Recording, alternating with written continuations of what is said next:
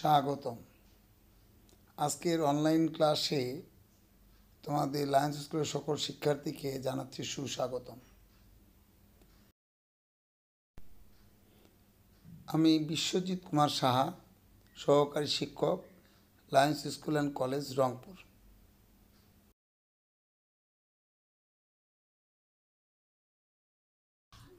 সুপ্রিয় শিক্ষার্থী Lions school and কলেজের তত্ত্বাবধানে যে অনলাইন ক্লাস চলছে, আমরা পূর্বের দুটো ক্লাসে পদার্থের অবস্থা এবং চাপ সম্পর্কে তোমাদের সাথে আলোচনা করেছি, পরপর দুটো ক্লাসে আজকে আমরা পঞ্চম অধ্যায়ে পদার্থের অবস্থা এবং চাপ অধ্যায় থেকে আর্কিমিডিসের সূত্র, প্লবতা এবং প্যাস্কেলের সূত্র নিয়ে তোমাদের সাথে আলোচনা করব। এই সূত্রগুলো এই অধ্যায়ের সবচেয়ে গুরুত্বপূর্ণ বিষয়, তোমরা বই, খাতা, কলম নিয়ে বসো এবং অত্যন্ত মনোযোগের সহিত ক্লাসটি নিরীক্ষণ করো, পর্যবেক্ষণ করো, লক্ষ্য করো আমি কি বলছি এবং বিষয়বস্তু বোঝার চেষ্টা করো। তোমরা বই, খাতা, কলম নিয়ে প্রস্তুত হয়ে বসো। প্রথমে আমরা আলোচনা করব আর্কিমিডিসের সূত্র নিয়ে। বিজ্ঞানী আর্কিমিডিস প্রথম এই বস্তুর ঘনত্ব এবং বস্তুর ভিতরে খাদের যে পরিমাণ থাকে বা খাদ দেওয়া হয় বা দেওয়া হয়েছে কিনা সে বিষয়ে তিনি একটি সুস্পষ্ট মতবাদ প্রদান করেন। তার এই মতবাদটি আর্কিমিডিসের সূত্র নামে পরিচিত।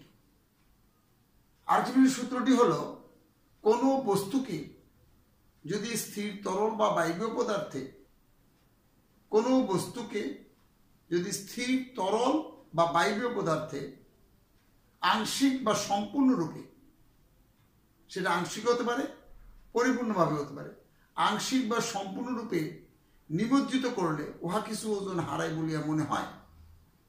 এই হারানো ওজন বস্তু কর্তৃক অপসারিত তরল বা বায়বীয় পদার্থে ওজনে সমান। এটা হলো আর্কিমিডিসের নীতি। আসলে নীতিটিতে কি বলেছে আর একটু ভালো করে বোঝার চেষ্টা করি। তোমরা বোর্ডে লক্ষ্য করো। মনে করো এটি একটি পাত্র, এই পাত্রে কিছু তরল রাখা আছে।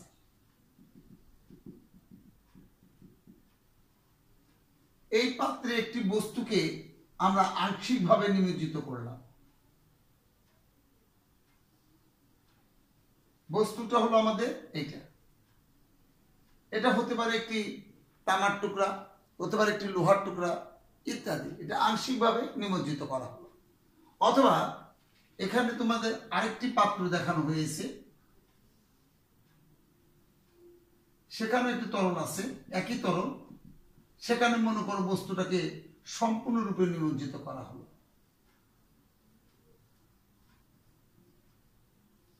এটি সুতা দিয়ে ঝুলিয়ে দেওয়া হয়েছে বস্তুটি। আংশিক অথবা সম্পূর্ণ, যেভাবে নিমজ্জিত করা হোক না কেন, বস্তুটি কিছু ওজন হারায়। এই হারানো ওজন বস্তু কর্তৃক অপসারিত তরল বা বায়বীয় পদার্থের ওজনের সমান। মনে করে এই বস্তুটির ওজন টেন নিউটন। এখন এই আংশিক অবস্থায় যদি ওজন করা হলো, ধরো ওজন পাওয়া গেল এইট নিউটন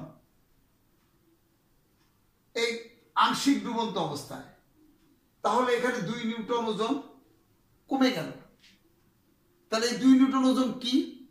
এই যে বস্তুটি পানিতে যে পরিমাণ জায়গা দখল করেছে, এই দখলকৃত জায়গায় যে তরলটা আছে, ওই তরলটির ওজনের সমান। বস্তুকে ভিতরে প্রবেশ করার জন্য যে পরিমাণ তরল জায়গা ছেড়ে সরে দাঁড়িয়েছে, সেই পরিমাণ তরলের যে ওজন, সেই পরিমাণ ওজন কমে যাবে। এখন এই বস্তুটিকে যদি সম্পূর্ণরূপে নিমজ্জিত করি, বস্তুটির ওজন তো আমরা পূর্বেই বলেছি টেন নিউটন। মনে করো, এই সম্পূর্ণ নিমজ্জিত অবস্থায় এর ওজন হলো ফাইভ নিউটন। তাহলে সে পাঁচ নিউটন ওজন হারিয়েছে। তার মানে সে পানিতে বা তরলে যে পরিমাণ ওজন দখল জায়গা দখল করেছে, সেই পরিমাণ পানিকে সরিয়ে দিয়ে সেই পানিটা বা তরলটার ওজন হলো পাঁচ নিউটন। কারণ দশ নিউটন ছিল, এবার হয়ে গেছে পাঁচ নিউটন। তাহলে বাকি পাঁচ নিউটন কোথায় গেল? সে বাকি পাঁচ নিউটন হলো, এর ওজনটা কি হয়েছে? কমে গেছে। কোনো বস্তুকে স্থির তরল বা বায়বীয় পদার্থে আংশিক বা সম্পূর্ণ নিমজ্জিত করলে বস্তুটি কিছু ওজন হারায় বলিয়া মনে হয়। এই হারানো ওজন, কারণ মনে হয় কেন কথাটা বলা হলো? কারণ সত্যি সত্যি ওজন হারায় না। আপাত দৃষ্টিতে তার তার কিছু ওজন কমে গেছে দেখা যায়। এই জন্য বলা হয়েছে, কিছু ওজন হারায় বলিয়া মনে হয়, অথবা কিছু ওজন হারায়। তুমি দুটোই বলতে পারো, যে কোনোটা বলতে পারো, যে কিছু ওজন হারায়। এই হারানো ওজন বস্তু কর্তৃক অপসারিত তরল বা বাইরে পদার্থের ওজনের সমান। এটি হলো তোমার আর্কিমিডিসের সূত্র সায়েন্টিস্ট আর্কিমিডিস এই সূত্রকে ব্যবহার করে বস্তুতে খাদের পরিমাণ বা ভেজালের পরিমাণ নিরূপণ করতে সক্ষম হয়েছে। এবার আমরা আলোচনা করব প্লবতা নিয়ে। আমাদের দ্বিতীয় আলোচনার বিষয়বস্তু প্লবতা। প্লবতা হলো কোনো বস্তুর উপর তরলে ঊর্ধ্বমুখী যে বল লব্ধি বল ঊর্ধ্বমুখী যে লব্ধি বল সেটা হলো প্লবতা কোনো বস্তুকে যদি একটি কোনো তরলে, মনে করে এই যে বস্তুটি, এই বস্তুটিকে একটি তরলে ডুবানো হলো, এই বস্তুটির উপরে একই সাথে চারিদিক থেকে বল প্রয়োগ করা হয়। এই পার্শ্ববর্তী বল, এই পার্শ্ববর্তী বলকে নাকচ করে।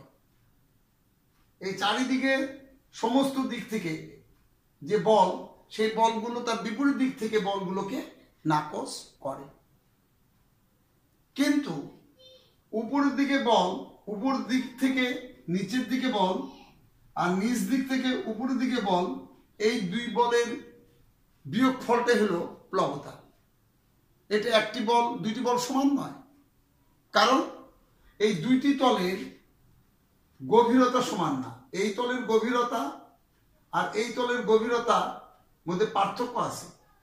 পার্থক্য কি? বস্তুটি যতটুকু উচ্চতা যতটুকু, সেই পার্থক্যটুকু। মানে উচ্চতার জন্য, যেহেতু উচ্চতাটা সমান না, উপরি কোনো বস্তুর উপরি পৃষ্ঠের থেকে নিচের পৃষ্ঠের একটা উচ্চতা আছে বা দূরত্ব আছে, ফলে পানির উপরে তো বা তরলের উপরে তল থেকে এই পৃষ্ঠের গভীরতা এবং এই নিচের পৃষ্ঠের গভীরতা সমান নয়। ফলে উপরের দিকে যে পরিমাণ চাপ হয় আর নিচের দিকে যে পরিমাণ চাপের সৃষ্টি হয়, সেই চাপও সমান নয়। উপর দিকে যে চাপ হয় তা হলো নিম্নমুখী আর নিচের দিকে যে চাপের সৃষ্টি হয় তা হলো ঊর্ধ্বমুখী।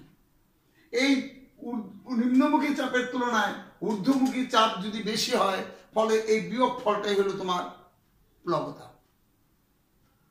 তাহলে চলো আমরা আর পার্শ্ববর্তী চাপ সমান হওয়ার জন্য পার্শ্ববর্তী চাপ একে অপরকে কি করে? বিনষ্ট করে বা নিষ্ক্রিয় করে। তাই শুধু উপরে এবং নিচের চাপগুলো আমি আমরা বিবেচনা করব। তোমরা চাপ, আমরা যখন প্রথম ক্লাসে চাপ অধ্যায় সম্পর্কে চাপ নিয়ে আলোচনা করেছি, সেদিন তোমরা জেনেছ চাপ ইকুয়াল টু বল বাই ক্ষেত্রফল।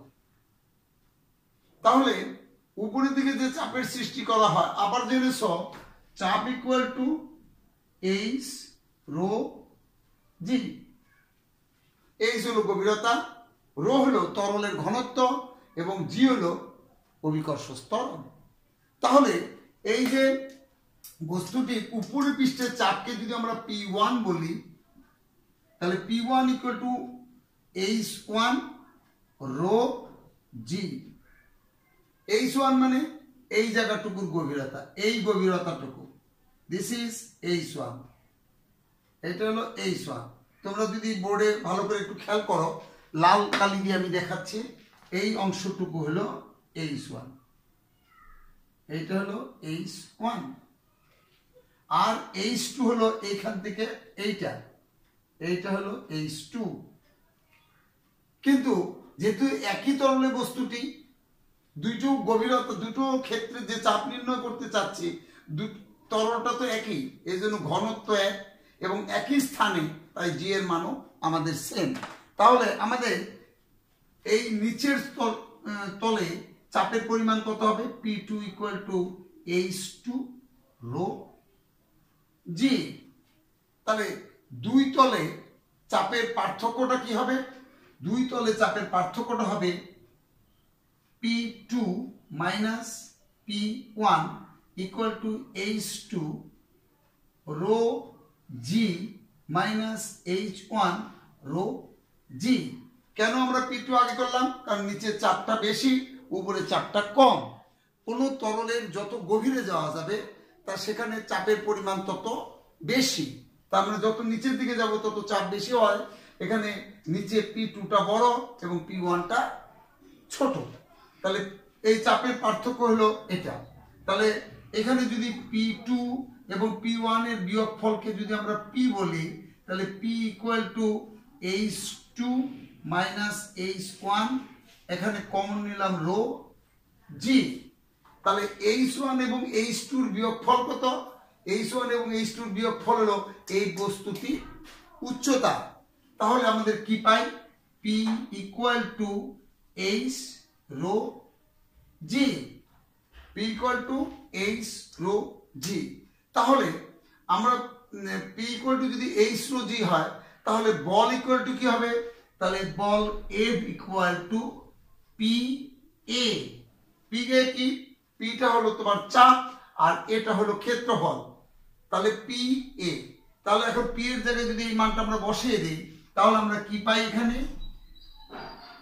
এ এইচ এ রো জি তাহলে F equal to H A rho g H হলো তোমার গভীরতা আর এ হলো পৃষ্ঠের ক্ষে- ক্ষেত্রফল। এইচ হলো তোমার এই বস্তুটির উচ্চতা এবং এ হলো এটা পৃষ্ঠের ক্ষেত্রফল। তাহলে এই দুটোর গুণফলকে কি বলে? আয়তন বলে। তাহলে এফ ইকুয়াল টু আমরা কি পাবো? V rho G V rho জি কারণ এইচ এবং এর গুণফল হলো ভি আয়তন। আয়তন এবং ঘনত্ব গুণন অভিকর্ষ স্তরণ এইটা হলো তোমার বল। এই, এইটাই হলো তোমার প্লবতা। ভি রো জি মানে বস্তুটি, ভি রো হলো বস্তুটির ভর আর জি হলো ত্বরণ, ফলে এটা হলো বস্তুটির ওজন। তাহলে এটা হলো প্লবতা। প্লবতাটা কি দাঁড়াল? যে বস্তুটির আয়তনে, বস্তুটির আয়তনের সমায়তন পানির ওজনটাই হলো প্লবতা কারণ বস্তুটিকে পানিতে রাখার পরে যে পরিমাণ পানিকে সরিয়ে দেওয়া হয়েছে, সেই পরিমাণ পানির ওজন হলো ভি রো জি ভি হলো এই সরিয়ে দেওয়া পানির আয়তন, অর্থাৎ যা বস্তুর আয়তনের সমান, এবং রো হলো এই পানি বা তরলের ঘনত্ব জি হলো এই স্থানটির অভিকর্ষ স্তরণ ফলে এটা এই জায়গায় সরিয়ে দেওয়া পানির বা তরলের ওজনটাই হলো এই বস্তুটির উপর লব্ধি প্লবতা। যে পরিমাণ যে প্লবতাটা আমাদের ঊর্ধ্বমুখী। তাহলে প্লবতা কি? কোনো বস্তুকে স্থির তরল বা বায়বীয় পদার্থে নিমজ্জিত করলে বস্তুটি ঊর্ধ্বমুখী, যে লব্ধি বল অনুভব করে, তাকে বলা হয় বস্তুটি প্লবতা।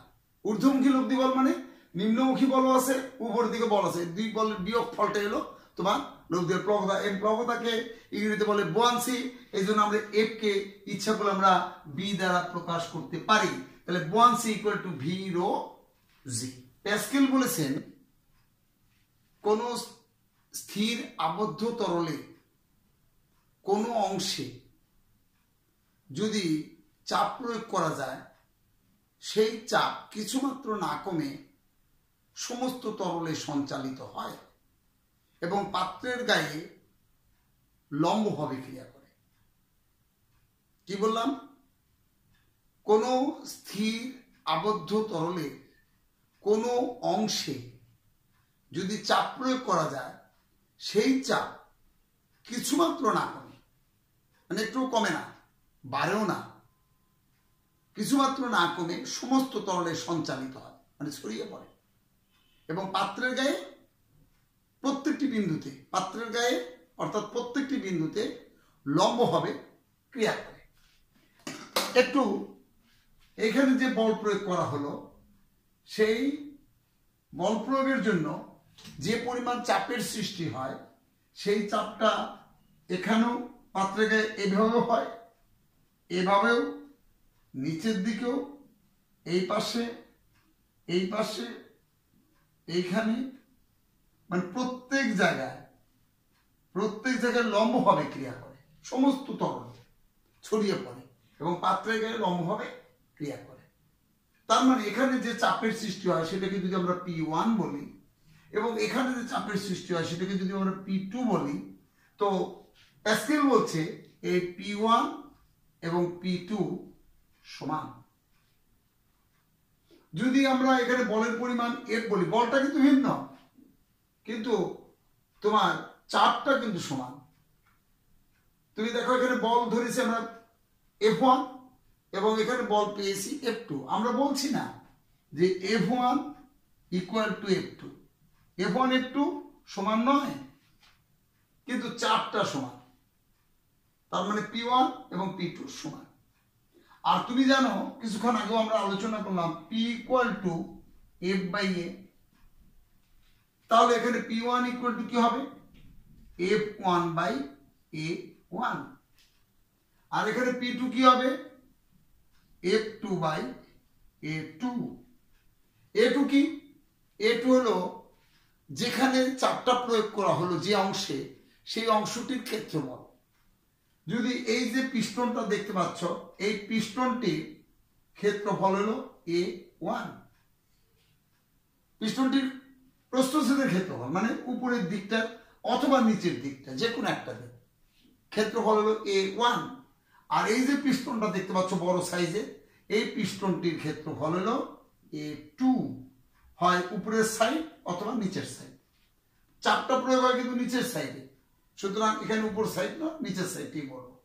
তাহলে এই যে চাপ F one by A one equal to F two by A two এবার যদি একটু একান্তরকরণ আমি করি, তাহলে কি হয়? F one by F two equal to A one by A two একান্তরকরণ মানে এ পাশের হরটাকে এ পাশের লবে নিয়ে যাওয়া হলো, আর এখানে লবটাকে এ পাশের হরে নিয়ে আসা হলো। হর এবং লব, এর পরিবর্তনটাই হলো একান্তরকরণ এই একান্তরকরণ করার ফলে আমরা কি দেখছি এখানে? এফ ওয়ান এবং এফ টু মানে এই অংশের বল এবং এই অংশের বলের যে অনুপাত, এদের ক্ষেত্রফলের অনুপাতে সমান। অর্থাৎ এখানকার চেয়ে এটার ক্ষেত্রফল বেশি হওয়ায় এটার বলটা বেশি। আর এর ক্ষেত্রফল কম হয়, তাহলে এর এর এখানে বলের পরিমাণও প্রযুক্ত বলের পরিমাণও কম। কিন্তু এর প্রযুক্ত বলকে এর ক্ষেত্রফল দ্বারা ভাগ করে যে ভাগফল পাওয়া যাবে, সেই ভাগফলটা হলো চাপ যা এখানকার চাপে সমান। অর্থাৎ এটার বল যদি তুমি ধরো, এটার বল হলো টেন নিউটন। আর ক্ষেত্রফল ধরো ওয়ান মিটার স্কোয়ার তাহলে এখানে চাপের পরিমাণ কত? টেন নিউটন বাই, এই যে চাপের পরিমাণ পি ওয়ান ইকুয়াল টু হবে ten newton by one metre square that is ten newton per metre square অর্থাৎ টেন প্যাসকেল এখানে চাপের পরিমাণ টেন প্যাসকেল এখন মনে করো, এর তুলনায় এর ক্ষেত্রফল দশ গুণ বেশি। অর্থাৎ এই পৃষ্ঠের ক্ষেত্রফল হলো টেন মিটার স্কোয়ার এটা ওয়ান মিটার স্কোয়ার ছিল, এবার এ টু ধরলাম টেন মিটার স্কোয়ার যদি টেন মিটার স্কোয়ার হয়, তাহলে পি টু কত? তাহলে P two equal to F two divided by ten metre square R P two হবে কি? পি ওয়ানের সমান। তাহলে পি ওয়ান কত? টেন প্যাসকেল তাহলে ten pascal equal to F two by ten metre square তাহলে এখানে তুমি এটা, এই দুটো গুণ করো। গুণ করলে আমরা কি দেখতে পাই? তাহলে এফ টু ইকুয়াল টু হয়ে যাচ্ছে হান্ড্রেড নিউটন। তার মানে এখানে দশ নিউটন বল প্রয়োগ করলে এখানে পাওয়া গেল হান্ড্রেড নিউটন বল পাওয়া গেল। কারণ এর পৃষ্ঠের ক্ষেত্রফলের তুলনায় এর পৃষ্ঠের ক্ষেত্রফল দশ গুণ বেশি। আমরা এখানে ওয়ান মিটার স্কোয়ার ধরেছি, আর এটার ক্ষেত্রফলকে আমরা দশ মিটার স্কোয়ার ধরেছি। যেহেতু ক্ষেত্রফল দশ গুণ বেশি, তাহলে বলটাও বেড়ে গেল দশ গুণ। এই জন্য এফ ওয়ান এবং এফ টুর অনুপাতটা হবে এ ওয়ান এবং এ টুর অনুপাতে সমান। তাহলে এই নীতিটাকে বলা হয় বল বৃদ্ধিকরণ নীতি। এটা প্যাস্কেলের সূত্র থেকে আমরা এই বল বৃদ্ধিকরণ নীতিটি পেয়ে থাকি। ইহাই বল বৃদ্ধিকরণ নীতি। ইহাই বল বৃদ্ধি, করণ, নীতি। এটাই এটি বল বৃদ্ধিকরণ নীতি, যা আমরা প্যাস্কেলের সূত্র থেকে পেয়ে থাকি। যেমন আমরা আর্কিমিডিসের সূত্র থেকে প্লবতা পেয়েছি, সেরকম তেমনি প্যাস্কেলের সূত্র থেকে আমরা পেয়ে থাকি বল বৃদ্ধিকরণ নীতি। সুপ্রিয় শিক্ষার্থী, তোমরা নিশ্চয়ই আজকের ক্লাসগুলো খেয়াল করেছ। আমরা আজকে এই অধ্যায়ে সবচেয়ে গুরুত্বপূর্ণ বিষয় নিয়ে তোমাদের সাথে কথা বললাম। আর্কিমিডিসের নীতি, প্লবতা, প্যাস্কেলের সূত্র এবং বল বৃদ্ধিকরণ নীতি। সুপ্রিয় শিক্ষার্থী, করোনার এই ক্রান্তি লগ্নে তোমরা সুস্থ থাকো, ভালো থাকো। সকলকে অসংখ্য ধন্যবাদ।